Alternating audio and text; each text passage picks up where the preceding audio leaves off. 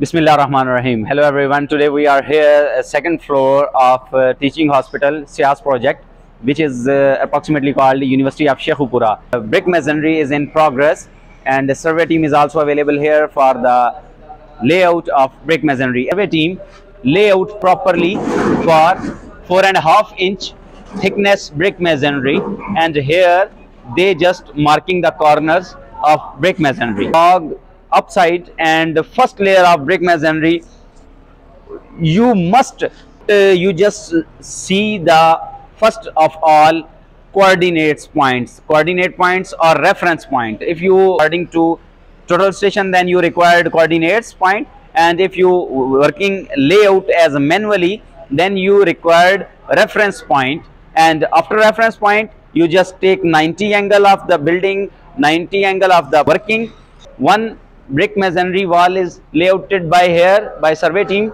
and the second is layouted by 90 angle and distance. Here we required two things. One of them is alignment and second one is distance. Alignment and then we take distance and also take 90 angle. Surveyor mr adil he is chief surveyor. The responsibility of mr mudassar who is working here and uh, just chief surveyor is coming here for the verify the layout. All layout of brick masonry is done by survey team. Brick masonry is in progress. Masons are working here. Alignment of the brick masonry according to horizontal alignment and vertical alignment which is in progress. So the checklist of layout is uh, first of all take distance alignment and then check 90 angle of the walls.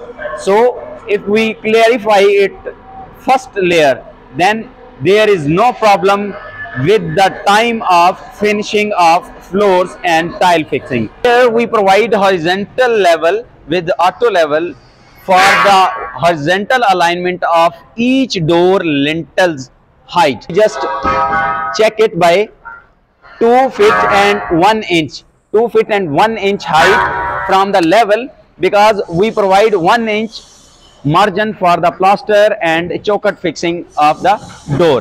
Central beam pouring also done after that we make sure about top working. We provide here 2 inch thickness Jumbolon sheet for cavity wall. Here Jumbolon sheet is used for uh, to control the temperature of the building here so we provide four and half inch brick masonry. Then we provide Jumbolon sheet and then we provide also four and half inch thickness of wall. So totally thickness of the wall is approximately 11 inch thickness.